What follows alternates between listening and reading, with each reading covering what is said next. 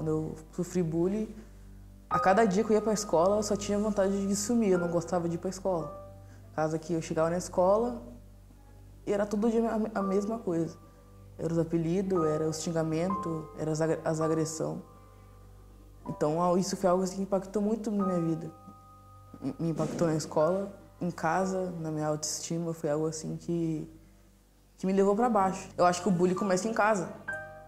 Então, tipo, quando os pais já vêm aconselhando pro filho, pra filha não fazer bullying, isso é muito bom. E na escola também. É muito importante os professores, a diretora, as coordenação, tudo, ver que o aluno está passando bullying e ajudar. Coisa assim que na minha escola, aonde eu sofri, não tinha muito. Eles estavam nem aí, quase. Mas tem muita escola que realmente ajudam. E isso é algo muito importante numa escola. É algo super importante para ajudar um aluno que sofre bullying. Caso que isso eu acho que é a melhor forma de tu sair do bullying, entre aspas, né? É claro que os, as piadas continuam, mas isso é algo que sim por ti mesmo. Tem que começar a não ligar mais, a casa que não é aquilo. Tem que começar a meter na cabeça que tu não é aquilo. E procurar ajuda, conversar com alguém, ter alguém quem tu confie para conversar.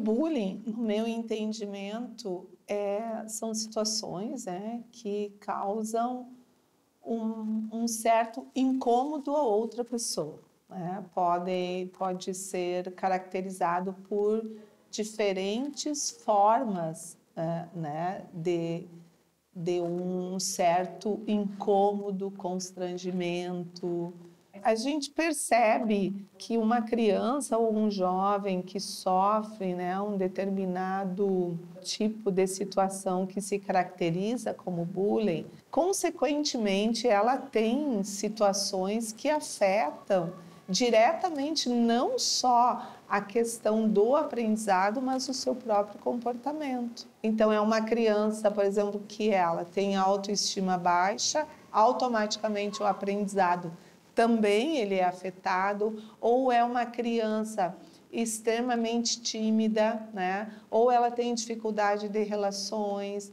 ou ela, um, o próprio comportamento dela, né, um comportamento que ele não é adequado àquela faixa etária, né, e todas essas situações elas implicam diretamente não só no desenvolvimento um, cognitivo, né, mas eu acho que no seu desenvolvimento integral. E isso pode, ao longo da vida, trazer consequências irreparáveis para as pessoas que sofrem o bullying. Nós assim temos muitos casos uh, de relatos que a gente vê ao longo da nossa profissão, né, de situações em que intimidaram tanto uh, as pessoas que as pessoas uh, de uma certa forma, não conseguiram se desenvolver uh, ou atuar ou uh, serem uh, elas próprias né, em função de situações que ocorreram durante a vida e que pode se caracterizar como bullying. A escola ela trata disto ao longo das ações pedagógicas. Então são várias ações que às vezes os estudantes eles nem percebem que essas ações elas são voltadas para este tema, mas que estão sendo trabalhadas, né? Porque o que, que acontece muito, por exemplo, frente a um caso de bullying, né? Tanto a criança quanto o jovem, ele tem uma certa dificuldade de falar sobre aquilo que ele está sofrendo.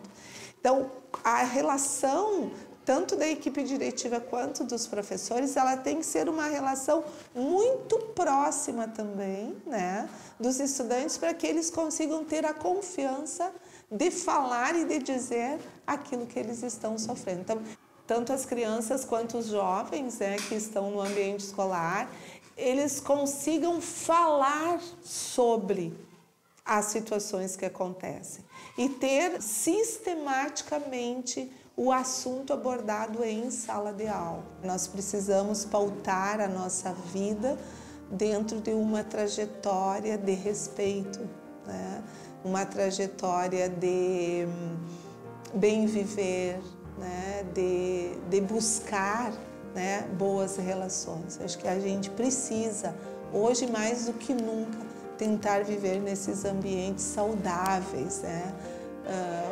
Para a nossa vida e para a vida com o outro também.